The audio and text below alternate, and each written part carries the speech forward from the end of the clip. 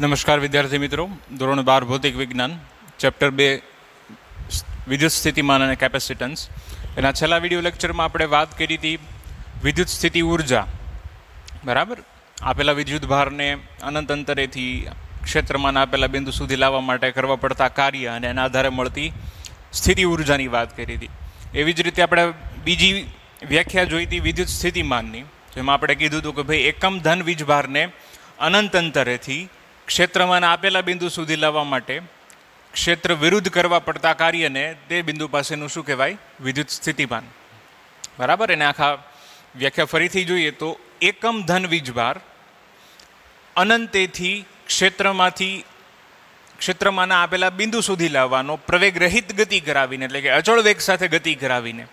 અને એ લાવવા માટે ક્ષેત્રની વિરુદ્ધમાં જે કાર્ય કરવું પડે, એને વિદ્યુત સ્થિતિમાન કહેવાય તે બિંદુ પાસેનું, બરાબર? હવે આજે આપણે એવું જે કે બિંદુવત વિદ્યુત ભાર છે અને આ બિંદુવત વિદ્યુત ભારને કારણે મળતા વિદ્યુત સ્થિતિમાનની વાત કરવી છે આપણે. તો એના માટે આપણે એક તંત્ર લઈ લઈએ કે જેમાં કેપિટલ ક્યુ જે ધન વીજભાર છે એ ઉગમ બિંદુ પર મૂકેલો હોય અને એ ધન વીજભારથી જેનો સ્થાન સદીશ આર હોય એવા કોઈ બિંદુ પી પાસે આપણે વિદ્યુત સ્થિતિમાન મેળવવું છે. તો વ્યાખ્યા પ્રમાણે જોઈએ તો આપણે એકમ ધન વીજભારને અનંત અંતરેથી પી સુધી લાવવો પડે, ક્ષેત્રની વિરુદ્ધમાં અચળ ઝડપે, બરાબર? અને આ એને અનંતેથી પી સુધી લાવવા માટે કરેલા કાર્યની ગણતરી કરવી પડે. એ કાર્ય મને બિંદુ પીનું શું આપશે? સ્થિતિમાન આપશે. હવે આના માટે આપણે ધારો કે એક ધન પરીક્ષણ વિદ્યુત ભાર લઈ લઈએ, બરાબર? ટેસ્ટ ચાર્જ જેને કહેવાય, જેની કિંમત શક્ય એટલી નાની હોવી જોઈએ. આપણે એને એકમ લઈ લઈએ. સ્મોલ ક્યુ જે છે એને આપણે એકમ લઈ લીધો છે. એને અનંત અંતરેથી લાવવાનો છે. પણ એને તમે જેમ જેમ નજીક લાવતા જાઓ, તો એ પણ ધન છે. જે ક્ષેત્રનું ઉદ્ગમ છે એ ધન છે. અને આપણે જેને લાવીએ છીએ અનંતેથી, એ પણ ધન છે. એટલે બે વચ્ચે કેવું બળ લાગવાનું છે? અપાકર્ષી બળ. તો આપણે એને પરાણે ઢહળીને લાવવો પડે. એટલે કે અપાકર્ષણની વિરુદ્ધમાં ગતિ કરાવીને લાવવો પડે. બરાબર? હવે એને આવી રીતે લાવીએ તો પી બિંદુએ લાવતા બાહ્ય બળ વડે થતું કાર્ય જે છે આપણને ધન મળશે. કેવી રીતે એની ચર્ચા આગળ કરીએ? પણ આ કાર્ય આપણને કેવું મળવાનું છે? ધન. કેમ તો કે અપાકર્ષી બળની વિરુદ્ધમાં ગતિ કરાવીને લાવ્યા છીએ. તો આ ગતિપથ છે અનંતથી પી સુધીનો. એમાંનું કોઈ એક વચ્ચેનું બિંદુ, આખા પથની વચ્ચેનું બિંદુ બે પ્રારંભિક અને અંતિમ બિંદુને જોડતી રેખા ઉપર એક વચ્ચેનું બિંદુ લઈ લઉં છું પી ડેશ બરાબર? જ્યારે આપણો આ એકમ ધન વીજવાર બિંદુ પી ડેશ પાસે પડ્યો હોય, ત્યારે આ કેપિટલ ક્યુ દ્વારા આની ઉપર લાગતું બળ અહીંયા સ્મોલ ક્યુ પડ્યો હોય, બરાબર? ત્યારનું બળ એફ બરાબર કે capital Q small Q upon R square પ્રમાણે જોઈએ, તો કે ક્ષેત્ર કોણ ઉત્પન્ન કરે છે? કેપિટલ ક્યુ સ્મોલ ક્યુ આવશે, પણ સ્મોલ ક્યુ તો આપણે એકમ લઈ લીધા છે. બે વચ્ચેનું અંતર. માની લો કે અહીંથી ઉગમ બિંદુથી અહીં સુધીનું અંતર જે છે બિંદુ પી ડેશ સુધીનું, બરાબર? એ કેટલું છે? R dash. તો આર ડેશ સ્ક્વેર. એ મૂલ્ય થયું. જો સદીશ સ્વરૂપે લખવું હોય તો બાજુમાં એકમ સદિશ લખવો પડે, સીધી વાત છે. અહીંયા જે બળ લાગતું હોય છે એ બળની દિશા આ તરફની હોવાની છે. બરાબર? દૂર તરફની કારણ કે ધન વીજભાર દ્વારા જે ક્ષેત્ર ઉત્પન્ન થાય એ બહાર તરફનું હોય, આ તરફ લેવું પડે આપણે. બરાબર? અને એ ક્ષેત્રમાં આપણો ધન વીજભાર પડ્યો છે, એટલે બળ ક્ષેત્રની દિશામાં જ લાગવાનું છે. જ્યાં આર ડેશ શું છે? તો કે બિંદુ પી ડેશનો સ્થાન સદિશ છે. અને આર ડેશ કેરેટ, તો કે સદીશ આર ડેશની દિશાનો એકમ સદીશ છે. હવે આપણે એને થોડોક નજીક લાવીએ. થોડોક એટલે ડેલ્ટા આર ડેશ જેટલો.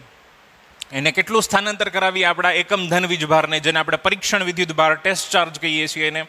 તો કે ડેલ્ટા આર ડેશ જેટલું. તો હવે જો ડેલ્ટા આર ડેશ જેટલું સ્થાનાંતર કરાવીએ, તો સૂક્ષ્મ સ્થાનાંતર માટે કાર્ય ડેલ્ટા ડબલ્યુ બરાબર સદીશ F dot delta R dash. પણ અહીં તમે જુઓ, સ્થાનાંતર આપણે કરાવ્યું છે આ દિશામાં ડેલ્ટા આર. અને બળ લાગે છે વિરુદ્ધ દિશામાં.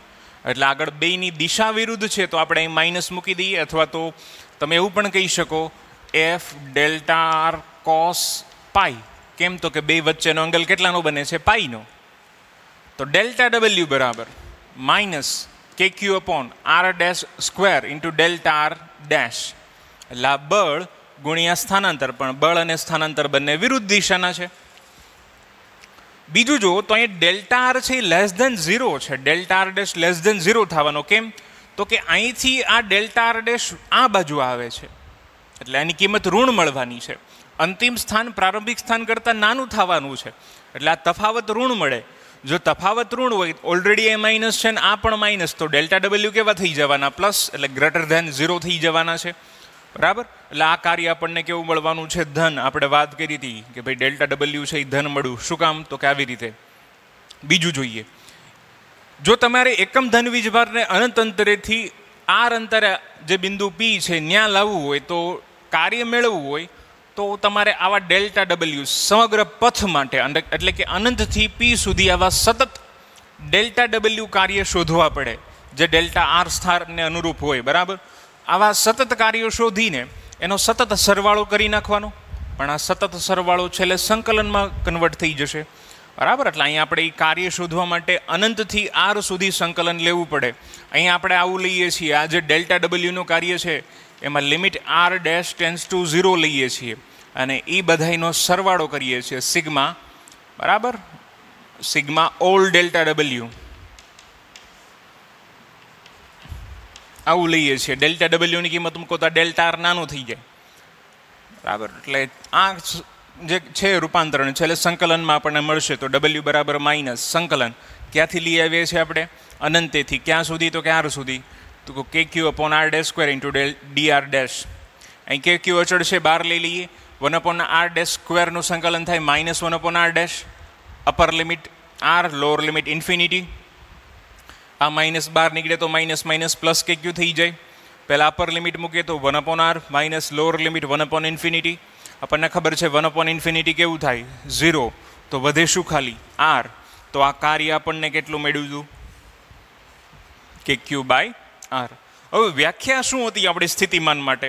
તો કે એકમ ધન વીજભાર માટે જે કાર્ય કરવું પડે, એને આપણે સ્થિતિમાન કહીએ છીએ. તો વ્યાખ્યા પ્રમાણે જોઈએ તો વીઓ ફાર બરાબર થાય ડબલ્યુના છેદમાં ક્યુ અહીંયા ક્યુ તો એક છે, તો સીધું લખી શકું વી બરાબર ડબલ્યુ અને ડબલ્યુ કેટલા મળ્યા આપણને? કે ક્યુ બાય આર તો આ સૂત્ર વી બરાબર કે ક્યુ બાય આર એ આપણને બિંદુ પી પાસે, એટલે કે જેનો ઉદ્ગમથી, ક્ષેત્રના ઉદ્ગમથી જેનું અંતર આર છે એવા બિંદુ પી પાસે આપણને વિદ્યુત સ્થિતિમાન આપે. બરાબર? હવે તમે જુઓ, આપણે ત્રણેયની કમ્પેરિઝન કરીએ. બળ એફમાં આવ્યું હતું capital Q small Q upon R square ક્ષેત્રમાં આવ્યું હતું કે ક્યુ બાય આર સ્ક્વેર જ્યારે સ્થિતિમાનમાં આપણને શું મળ્યું? કે ક્યુ બાય આર જો અહીંયા આરથી મલ્ટીપ્લાયને ડિવાઈડ કરું, તો મને આવું મળે K Q by R square into R પણ આવડું આ તો કોનું સૂત્ર છે? ક્ષેત્રનું, એટલે વી બરાબર થઈ જશે ઈ આર બરાબર? તો આ બે વચ્ચેનો સંબંધ, વિદ્યુત ક્ષેત્ર અને સ્થિતિમાન. વિદ્યુત સ્થિતિમાન અને વિદ્યુત ક્ષેત્ર વચ્ચેનો સંબંધ વી બરાબર ઈ આર જેને આપણે આવી રીતે યાદ રાખશું. વી બરાબર ઈડી વી બરાબર ઈડી ડી એટલે ઈ ડિસ્ટન્સ જે આપણે એનું સ્થાનાંતર કરાવીએ છીએ અંતર. બરાબર?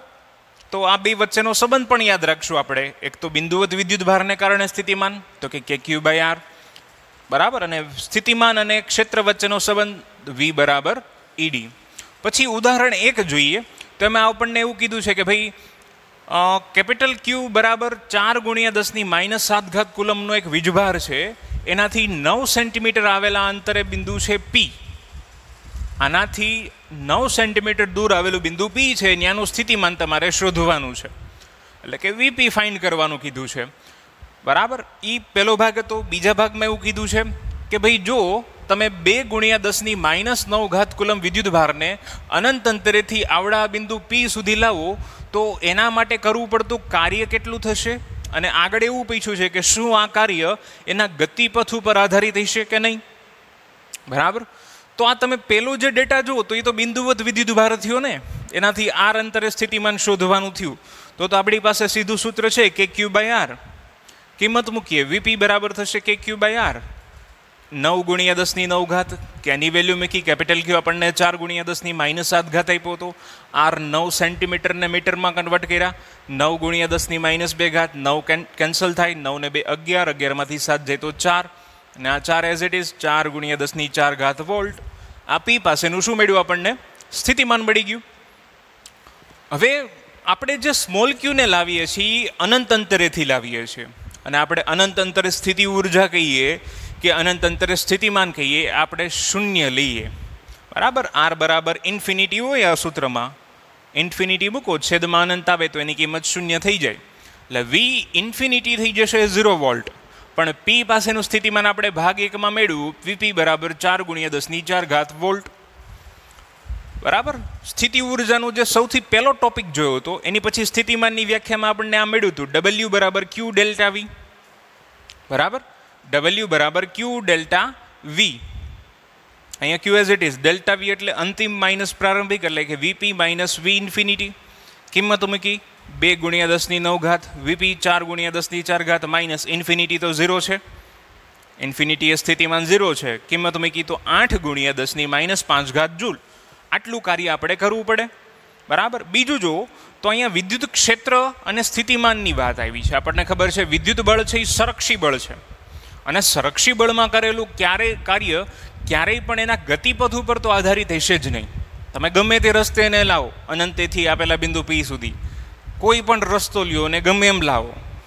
એનું કાર્ય માત્ર એના પ્રારંભિક અને અંતિમ સ્થાન ઉપર જ આધાર રાખવાનું છે. તો આપણે અહીં કહી શકીએ કે ભાઈ આ કાર્ય છે એ પથ ઉપર આધારિત થશે નહીં. બરાબર? તો આજે આપણે બિંદુવત વિદ્યુત ભારને કારણે ઉત્પન્ન થતું સ્થિતિમાન અને ઉદાહરણ એક જોયું. બરાબર? આગળ આપણે ડાયપોલને કારણે જે સ્થિતિમાન મળે છે, એની વાત કરશું. અત્યારે આ જોઈ લ્યો.